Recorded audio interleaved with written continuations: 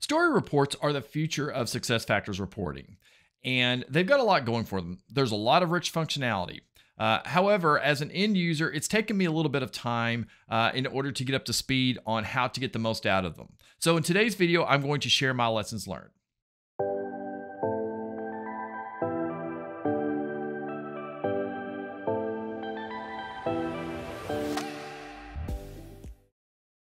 Okay, so we're going to demonstrate the hires analysis report. This report is, is available by going to reporting and then you're going to get to the report center and you're going to see the report. Now, what we are not covering here is the process of setting up the reporting, things like that. I've got another video that I will be publishing that's going to show that whole process. But for now, I just want to show what this looks like from an end user perspective. So you can see here I have the hires analysis and we're going to launch this and then it's going to take a couple of minutes to load hopefully less than that but you know i do want to you know uh, caution here that there is a little bit of performance time in order to get these reports to load so this report, the hire analysis report, it helps you look at the hiring practices within your company and look at it from several different angles. So as you can see here, we have you know a number of different graphs that that together make up a story. So that's what the, a, a, this integrated view really is called is a story.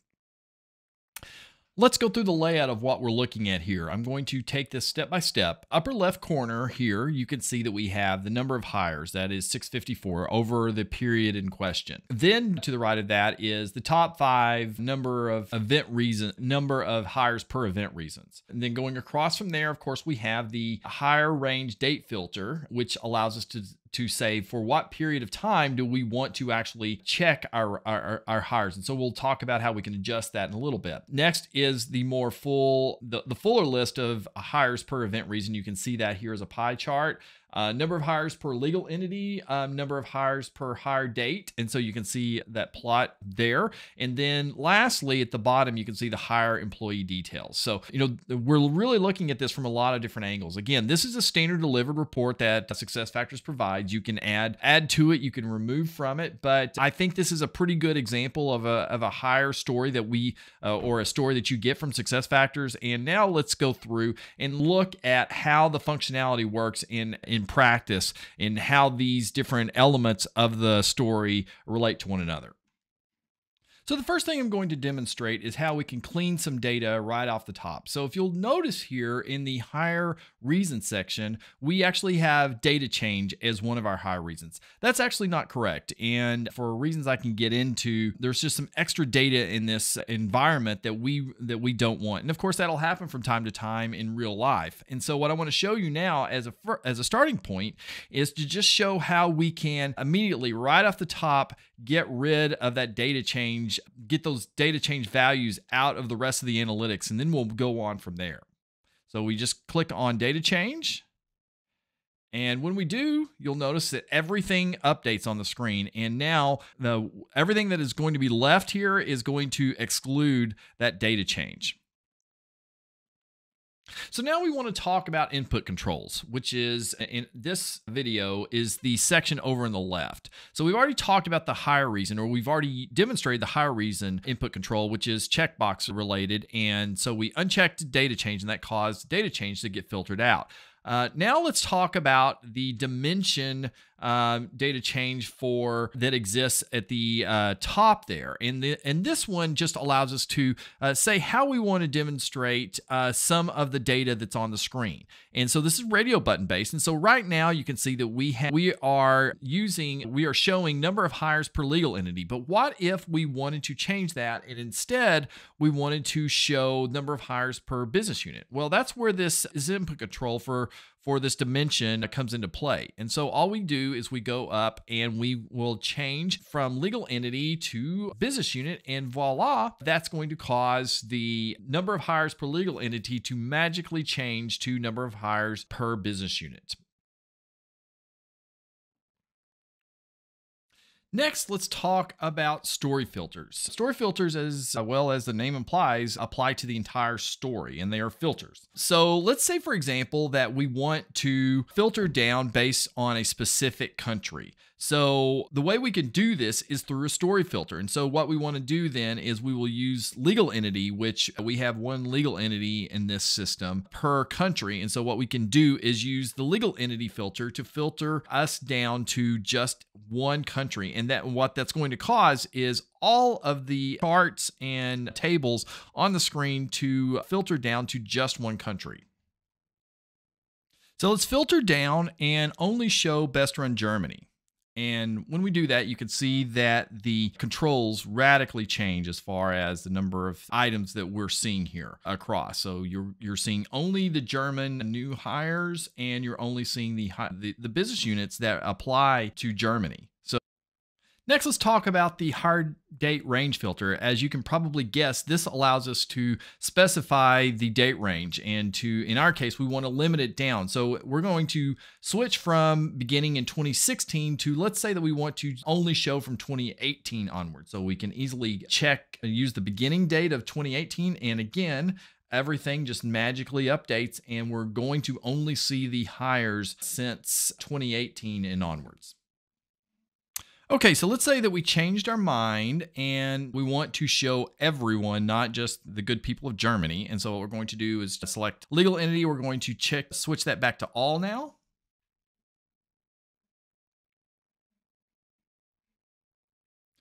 Next up, let's drill into an individual chart. So we're going to go into the number of hires per business unit and we're going to do a couple of things. The first is we're going to show that we can filter down by just clicking on products. And at that point, we are only uh, seeing the products business unit. Now, clicking on explore available. Explore available for any chart that has this allows you to add additional dimensions which is just categories or filters to your chart So, to illustrate a little bit more about what the functionality here for Explorer does, let's say that we have an executive who is responsible for Atlanta and they want to understand which divisions are, or business units rather, are, are hiring people in in Atlanta. And so this explorer allows us to do that. So what we can do now is we can add a new dimension and then we can identify of the available dimensions. We can scroll down and find that location is one of the available dimensions. And when we do that, the uh, a new selection becomes available to us.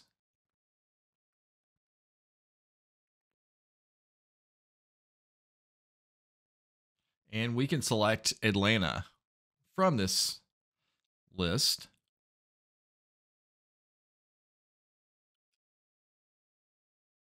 And as you see, the chart will update and we will see the business units that have hired in Atlanta. And so you can see we can drill down further. We could add further dimensions if we wanted to. So this just gives us a chance to add more aspects to the to the to the story to make it more relevant to the specific user.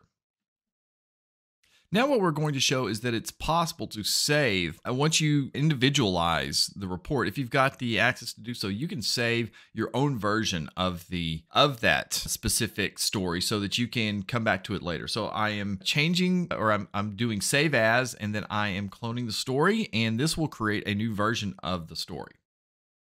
So to get back to our report, our overall report, we go to display story view mode. Last thing I wanted to show you is let's say that you wanted to download all of the names in the table section of the story down at the bottom. One thing that you need to know about these story reports is by default, they only allow you to download 500 rows at a time, but there's a way around this, and I want to show you this right now. So what you can do is you can see there's, if you look underneath the hired employee details, you will see that there's a one with a little triangle next to it. That is letting us know there's a warning that there's a limitation. Now, in our case, this report only actually has 233 rows, but it, it, what we can do is we can actually change this to unlimited, and this allows us to extend that table so we can make sure that we get everything. So we're just going to click on this little navigation menu, hit export, and then you hit uh, you can change the format as we did here and we're going to change it to XLS to the Excel format and that downloads so as you can see here, when we download this, you will get, notice we have 233 records in overall. And when we pull up the report, you will see that we have exactly 233 rows in this report. So that gives us a good sense that we are accurate there. So hopefully this little tour of how you can get around and navigate as well as do uh, use the Explorer is useful for you. Thanks a lot.